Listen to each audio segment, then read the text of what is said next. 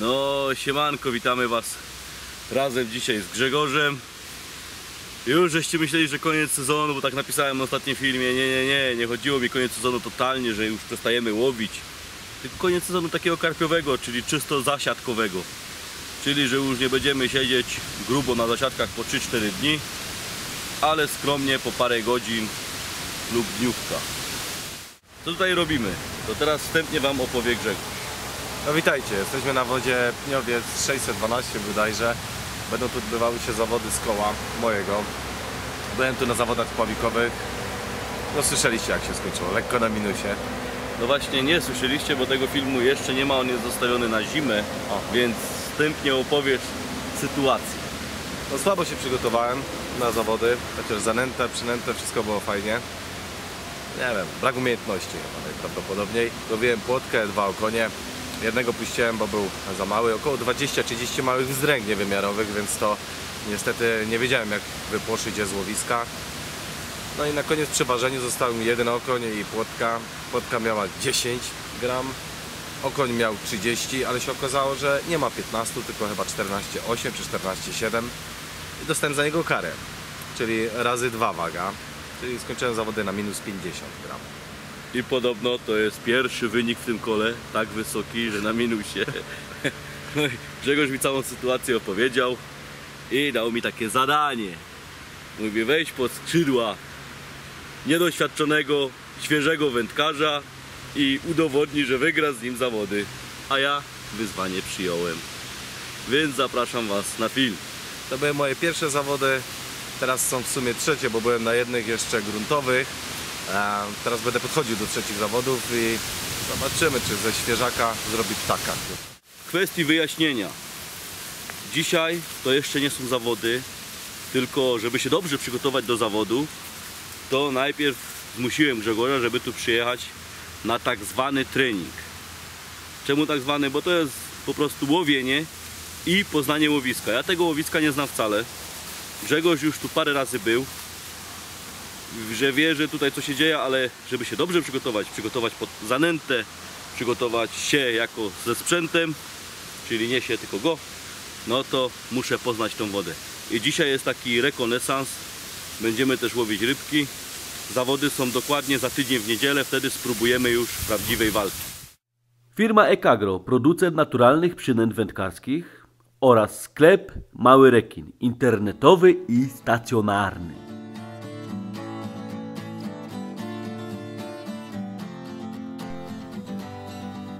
Diabeł tkwi w szczegółach. Aby dobrze przygotować się do zawodów, to nie wystarczy kupić najlepszą zanętę. Na sukces wpływa kilka czynników, takich jak sprzęt, zanęta, umiejętności oraz prawidłowe czytanie możliwości wody. Zacznę od ostatniego. Poznając wodę, uczymy się, jakich ryb możemy się spodziewać, czy to będą płocie, karasie, leszcze czy klenie na rzece, często też uklejka. A zdarzają się łowiska, gdzie króluje karp i do każdego zbiornika będziemy przygotowywać się inaczej. Jak już poznamy co i jak, wtedy dopasowujemy zanętę i sprzęt. Może okazać się, że na danym łowisku będziemy ryby łowić na tyczkę 13-metrową, odległościówkę i tak. Na tym łowisku króluje o tej porze roku płoć bardzo mała i leszcz, a wystarczy bat.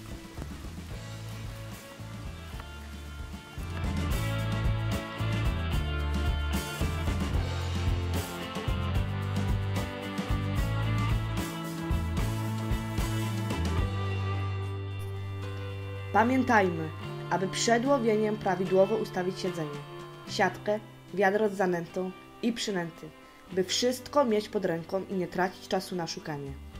Siatkę na ryby ustawić tak, aby nie wstawać umieszczając w niej ryby. Wasza niezgrabność będzie wykorzystana przez przeciwników i każde stracone sekundy działają na Waszą niekorzyść.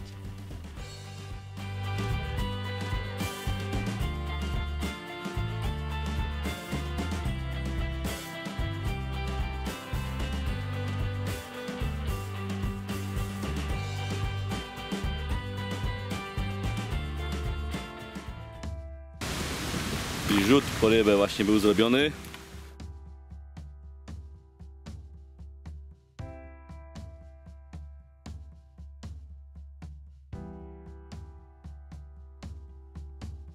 Jak na razie Grzegorz bardzo zadowolony, bo co rzut to ryba i same płocie. Do 15 sekund. O już, już, już, to będzie branie. Takich się nie robi Grzegorz, że się zobaczy w innym miejscu, rzuca się tam gdzie jest nęcone. Grzegorz to jest duży błąd, wiesz, w innym miejscu oglądanie.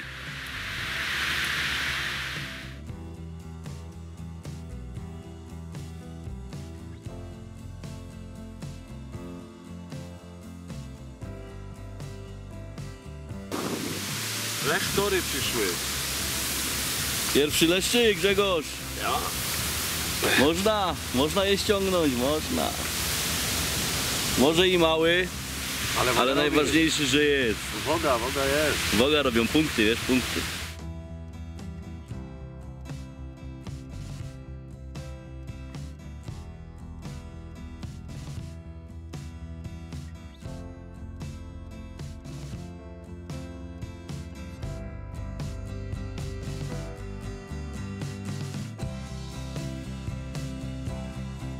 O. I co, i z takim, taki właśnie ci zrobił te minus 30, ja? No. To zaś się nie chce słuchać. Że możesz tu ich nie chytać, tylko tam dalej. Zaś się nie chce słuchać.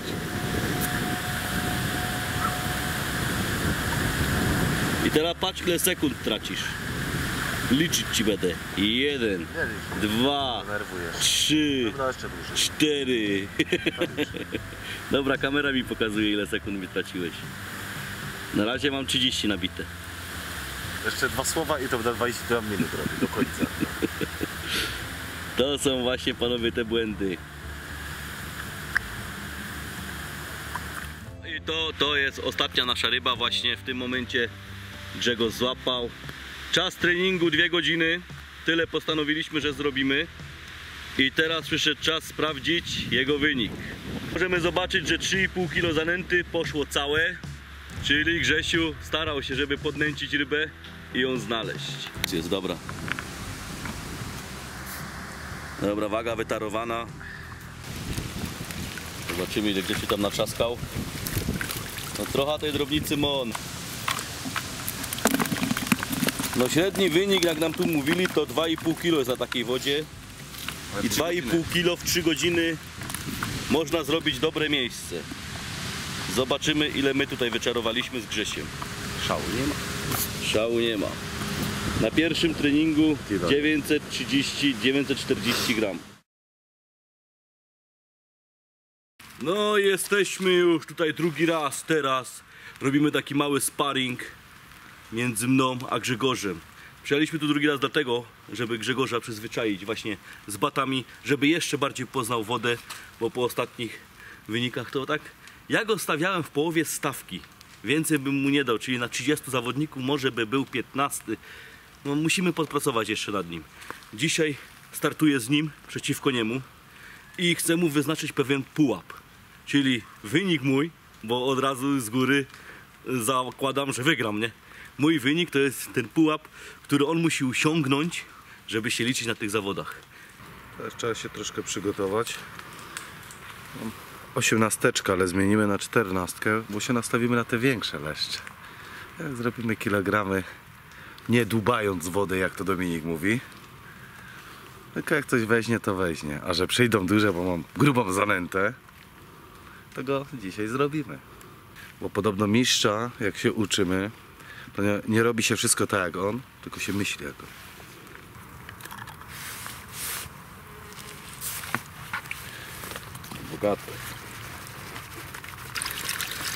Jeżeli chodzi o mnie, o zanętę, to nie będę kombinował. Ostatnio przygotowaliśmy z- Grzegorzem zanętę, która się, jeżeli chodzi o częstotliwość brań, bardzo dobrze sprawowała. Dzisiaj po prostu chcę to potwierdzić, czy będziemy ją do zawodów jeszcze zmieniać, czy zostaje. Czyli ja ją sprawdzę. Na tym łowisku zamiast cukru pudru dodałem teraz, jak widzieliście, całej melasy typowo leszczowej, bo głównie mnie interesuje, żeby tu dopaść takiego leszcza. Nie takiego, nie takiego, takiego leszcza. Taki leszcz w porównaniu do tych wielkich płotek, co tu brały, gdzie ich 12 wchodzi do puszki, 12. Taki leszcz robi wagę. 4-5 takich małych płotek trzeba zapać na jednego leszcza. Częstotliwość brań płotki była dużo większa, ale w pierwszym razie nie byliśmy przygotowani na żadną rybę, tylko po prostu zobaczyć co tu jest, więc nie mogłem się dostosować do tego łowiska. Teraz będę walczył o tego większego leszczyka. Jeżeli go nie dostanę, dopiero wtedy będę dłubał, jak to Grzegorz powiedział, dłubał to małą płotkę. Jeżeli chodzi o zestawy, mam przygotowane trzy baty. Siódemka, szóstka, piątka z Jacksona. Jak można wygrać na wędki z Jacksona? Już, już wam odpowiadam. Nie raz wygrałem zawody właśnie na baty z Jacksona. I uwierzcie mi, nikt mi nie płaci za reklamę Jacksona, tylko po prostu od lat używam batów z Jacksona. Na droższe nie mówię, że są gorsze czy lepsze, tylko na droższe mnie nie stać te lepsze, jeszcze bardziej lepsze. Te dopasowałem do siebie, idealnie mi się na nich łowi i naprawdę jestem im wierny już od wielu, wielu lat. A Grzegorz może potwierdzić i żeście widzieli nie naraz w filmach, że koło 20-25 pucharów stoi, z tego połowa jest z pierwszym miejscem na Jacksona. Dobra, mniejsza z tym. Technika. Byliśmy tutaj na tym pierwszym treningu. Dużo, dużo jest wzdręgi. Dlatego główne obciążenie bardzo blisko obciążenia, które nam sygnalizuje branie. Nie wiem, czy jeszcze nie będę go obniżał w trakcie łowienia, żeby jak najbardziej wyeliminować brań wzdręgi, bo jej było mnóstwo. Naprawdę. 5 wzdrąg, jedna płotka, 5 wzdręg, jeden leszcz. Tak to mniej więcej wyglądało ostatnio, więc na siłę będę zmniejszał, obciążał jeszcze bardziej, żeby pozbyć się wzdręgi. Tutaj mam spławik 3 gramy, siódem, szóstka 2,5 grama, 1,5 grama piątka. Wygruntowane już to mam, bo to robiłem przed chwileczką. Widzicie, to jest około 1,20 m gruntu. Więc na takim gruncie będę łowił. Do ryb, zostaw im to. Nie będziemy wam pokazywać jak mieszam zanętę, bo to ostatnio już Grzegorz robił. Ja dzisiaj troszkę na inną zanętę, trochę grubiej. Sprawdzimy co to da. Podobnie jak ostatnio będę dodawał cukru pudru. Zmieniam glinę na pomysł kolegi, który mówił, że tutaj bardziej na brązową. Oczywiście pinka i tajny składnik. Ale tego nie musicie na razie wiedzieć co to jest. Zobaczymy czy uda się go pokonać czy nie. Ja mam dwa baty przygotowane inaczej niż Dominik. Jeden do brzegu bliski 3 metrowy ze spławiczkiem jednogramowym, żeby dubać te małe, jak nie pójdzie przy brzegu. A drugi zestaw mam ze spławikiem 2,5 gramowym, nie, 1,5 gramowym. Zmieniałem ostatnio, który będzie z haczykiem 14, dalej od brzegu, żeby można było te lesiotry, lechonie i inne takie le łapać. I tak, pierwsze nieoficjalne zawody na bata małego rekina mogę otworzyć. Zobaczymy jak się sprawdzi. Piszcie mu w komentarzach, czy nie chcielibyście przyjechać na takie zawody z nim. Zobaczymy. Czy ile osób by chciało przyjechać.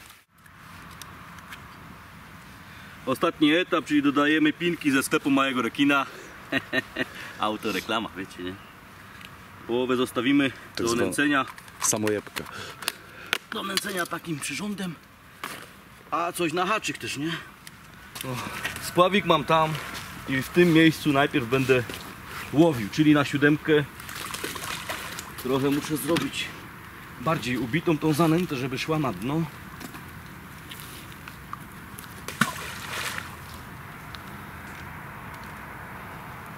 Nęcimy! Grzegorz, nęcimy! Nęcimy Grzegorz! Dobre to będzie ja. Te pikne. Zrobimy se tak. Dwie kule na chudo. A tutaj odsypałem trochę zanęty. Dodałem ryżu z cynamonem. Oprócz tego do zanęty cukru pudru dodałem też dwie paczki cynamonu, żeby ściągnąć te leszcze. No i tutaj zrobimy z tymi grubymi frakcjami zanęty, która została po sitkowaniu. Grubszych dwie, trzy kule. Ja zaczynam od szósteczki. I tam ściągniemy. O, dzwony biją, to znaczy trzeba złowić. To już sygnał do onego. Do łowienia. Braku, patrz. No już branie? Dobra Grzegorz, co tu dużo gadać, startujemy.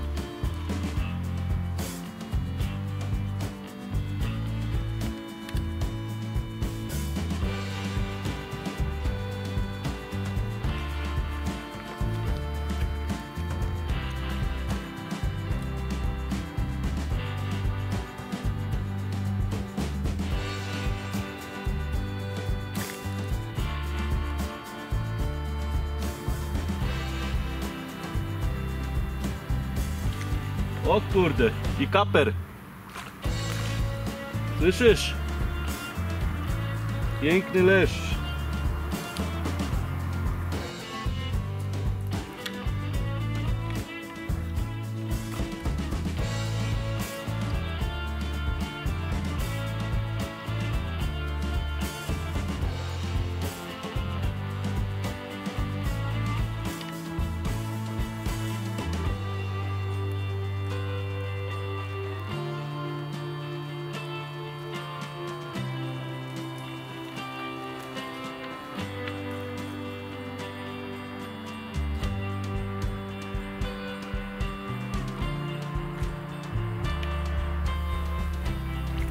Mam je, mam leszcze.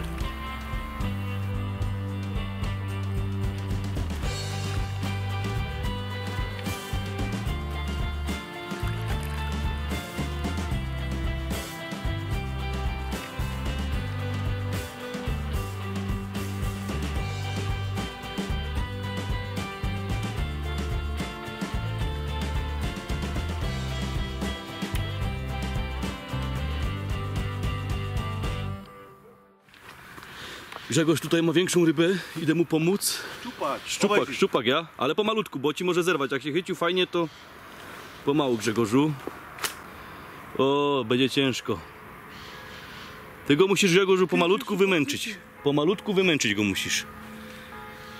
No musisz go teraz lekko z tych trzcin wyciągnąć. Pomalutku z nim do brzegu. Grzegorz, chwilę zawodu, jak go wyciągnę. ale musi być miara. Nie ma wiary, nie ma. Oczywiście pięć. Jest taki malutki tam. po niego? No wleź se po niego, nie? Bo co, urwie żyłka? Ciul, popuściłem go. Nie, nie, nie popuściłeś. Weź mi one. Weź mi go potem. Ja podbierać ci go. Dawaj go. Jest, jest, jest! Szczupak pierwszy w życiu. Jest, pierwszy szczupak w życiu. Pierwszy, ale weź od niego, ale zobacz. Jest, na bata. Zanęta, zanęta na, na ten. Na Na szczupaki. szczupak. Pak się chycił, na pyszcze. No szczęście to na 008 cię wyciągnie szczupaka, ale patrz jak się chycił, ci szczęśliwie. Ja się dziwię, czemu nic nie bierę, ale patrz jak murzyłka idzie, przez pysk. Ale i tak masz szczęście nieludzkie, że on ci tego nie przegryzł. Nie? zębami, nie? Aha, bo tu ma, widzisz? O. Za tą, za tą domną tą. Tutaj człowiek na spinning kombinuje, obrotóweczki, cuda, bianki. A tu na taką zanęta, widzieliście na co przyszedł? Nie umie znaleźć miary. się lekko za wargę, widzieliście jak walczył, trzy razy mi nad wodę wyskoczył na przyponie 008, na haczyku chyba 16 I, i, i się nie liczy.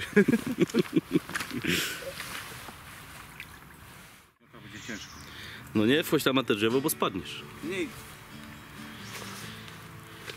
Damy radę. Ale gładki jest. No dałeś radę. Dobra, Damy radę. Nie ryzykuj. Uparty.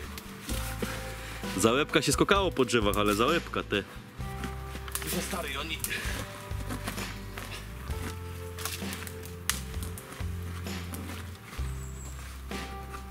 Się za to Nie, ty spadniesz, że tak czuję, że lecisz. Co? Czuję, że lecisz.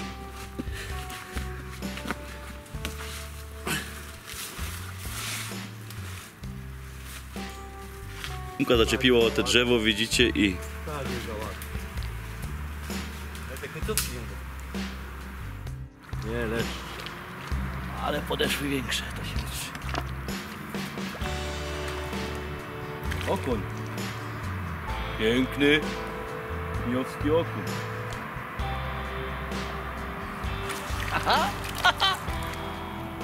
No taki garbusek mi się też trafił. Muszę się wam pochwalić, że to nie jest pierwszy, tylko drugi. Pierwszego nie nagrywałem. A robi wagę, robi. Ryby tu są, jednym słowem. Podoba mi się ta woda. Jestem zadowolony, bo ryba za rybą, nie? Co minutę jedna.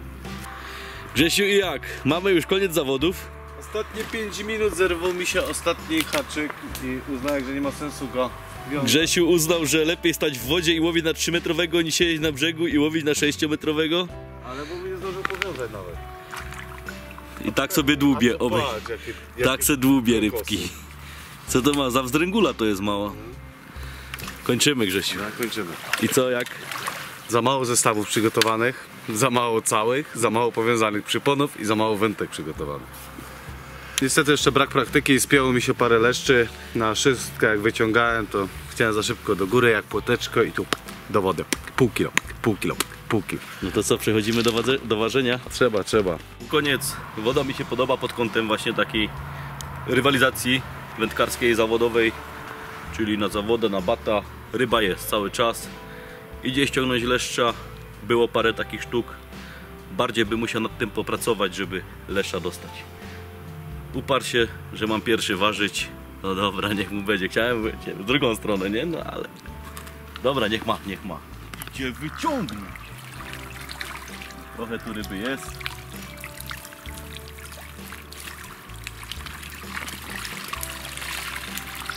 Może większe wiadro wezmę? Nie, nie trzeba większego. Ja pierdziu, to jest na bata.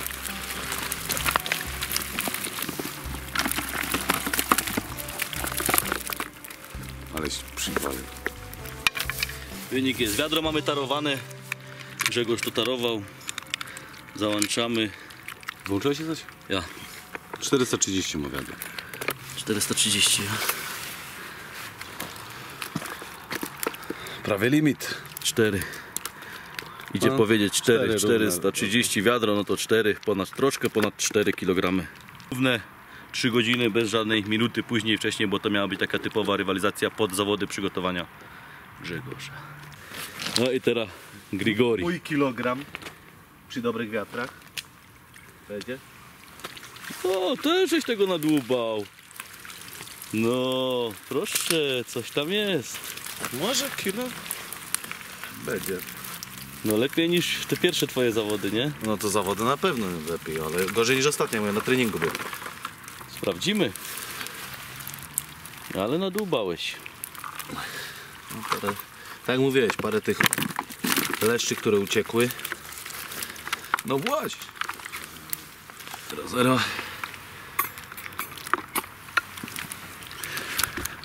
Jest, jest ponad kilo, ale półtorej mojego nie osiągnąłem, 100 gram mi brakło No. mojego celu. Czyli mam kilo 400. To już jest pierwsza piątka. Pierwsza piątka.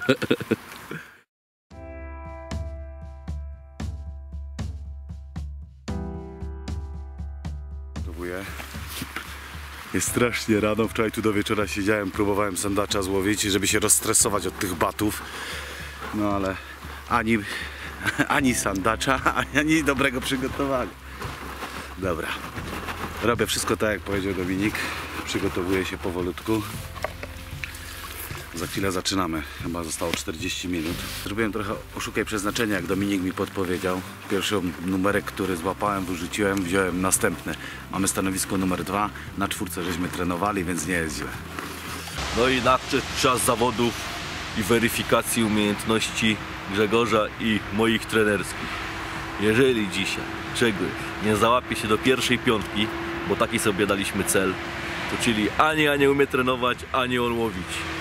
Tym bardziej, że teraz po lekkim rekonesansie tutaj z ludźmi dowiedziałem się na stanowisku numer dwa, właśnie tutaj, gdzie Grzegorz dzisiaj siedzi, na ostatnich zawodach kolega po prawej wygrał na tym stanowisku zawody. Czyli podsumowując, na tym stanowisku jest ryba i idzie tu zrobić pierwsze miejsce. W deszczu złowił nam, mówił nam, kilo 700. Średnia od Grzegorza na zawodach, w takich tych treningach, kilo 400. 300 gram, może dzisiaj są zawody, może powalczyć. To jest życiówka od niego, nie? Kilo 400 w 3 godziny. Tutaj już wszystko powoli ma już rozłożone. Teraz jeszcze podpracujemy nad zestawami, ustawimy wszystko dokładnie i potem prawdziwa walka, a niech walczy. I trzymajcie kciuki, bo, bo kurde go zabiję chyba dzisiaj. Weźcie sobie chłopy. Chwila przerwy przed zawodami. I trzy grzybki takie można. Chwila relaksu przed. Pan Wiesław znalazł. Mówi, idzie do lasu się wylać. są, są. Trzy takie potężne grzyby. Piękne, piękne. Ten jaki. Gratulacje, no ładnie. No nie wiem, czy to życiówka nie jest. No, nie za nie mi tak. Teraz Grzegorz przystępuje do nęcenia białymi. Grzegorz po 7-8 sztuk, nie tak dużo, mniej, mniej, mniej, mniej, mniej, mniej. Cały czas, tyle samo. I rzut. Jeszcze dalej. No i pierwszy rzut, czyli zawody rozpoczęte. Grzegorz zaczyna łowić ryby. Po coś to dźwigło synu, to ja nie wiem, no ale dobra. Rzuć to dalej. Dobra, nieważne, chytaj. Ty się krzokami nie przejmuj. Pięknie. Pomalutku. Jak jest większa, to pomału.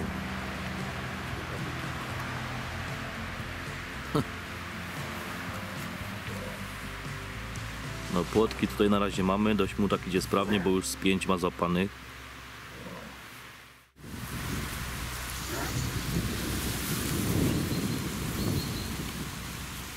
Dużo jest takich bardzo malutkich płotek. Takich szprotki. No takie biorą, nie?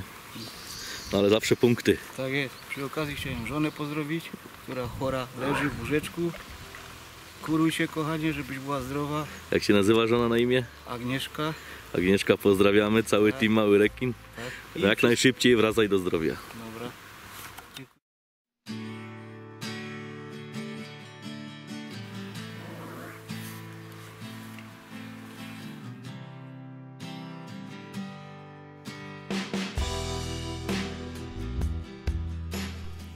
Zawody, na których startował Grzegorz, organizowało koło numer 49 Rybnik na wodzie Pniowiec.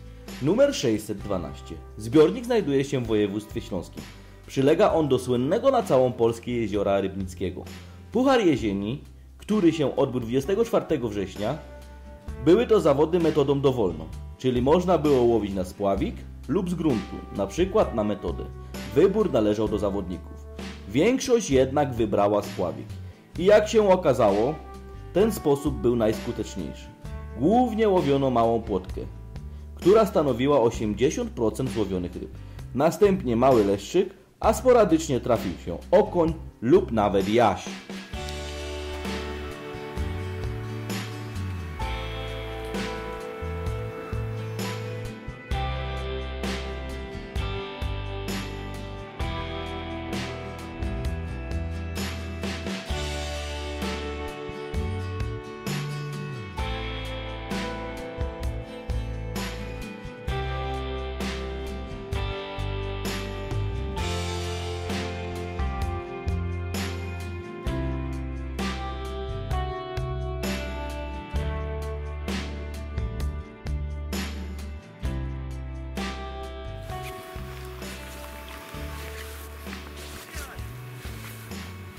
Jaś, Jaś, pan Jaś. Kurde, blisko. Ma, szłoby go zostawić. oczywiście. Zobacz. Ja, ma. I, i 3 mm. Punkty są. Już dochodzimy do końca zawodów. Ostatnie idzie powiedzieć sekundy. Grzegorz próbuje jeszcze wydubać jakąś jedną małą płoteczkę. Leszczyka, jazia, karpia, cokolwiek. Ale mu nie idzie to. Nie idzie mu to.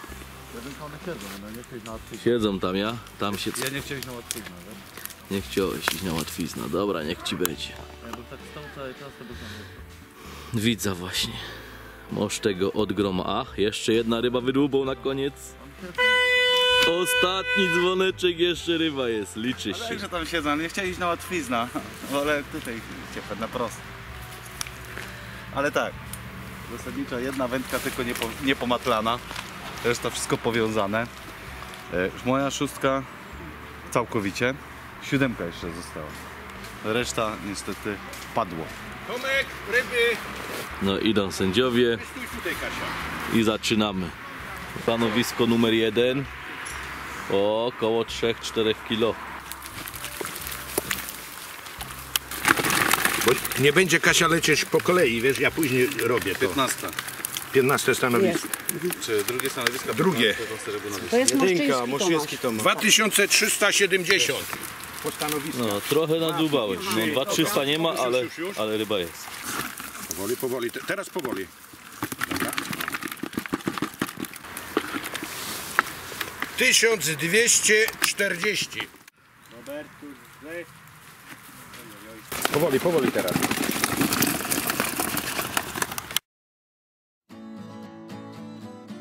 Panie nasz senior, hałas Robert, brawo, brawo. Tak ostatnio mówi, że mu nie szło, ale się poprawił, trenował. Będzie 11 miejsce.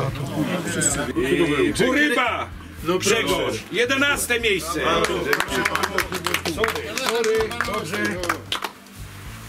Niko jestem średnio zadowolony, 11 miejsce, bądź co bądź w kasie, bo on na zanętę za tydzień mam, ale no trochę wynik niesatysfakcjonujący. Kilo 240 tego było, średnio mam tak kilo 400 tutaj na tej wodzie, nie licząc wczoraj, bo wczoraj byłem jeszcze raz na treningu sam, no i było jeszcze gorzej niż dzisiaj. A mimo wszystko Grzegorzowi gratuluję. Jest dużo lepszy niż tym pierwszym razem z wynikiem minus 30 Minus czy 50. 50. Dzień zaliczamy do sukcesu, a wiecie dlaczego? Bo byliśmy na rybach, a to jest najważniejsze w tym wszystkim. Ale się poprawię, wiecie. 200-300 gram, by był czwarte, piąte miejsce, no te błędy troszkę jeszcze musi nad nim popracować, ale wierzę w niego, widzę, że chłopak jest nastawiony bojowo. W przyszłym roku, może jeszcze w tym, pokaże na zawodach na co go Za stać. tydzień będę już lepszy.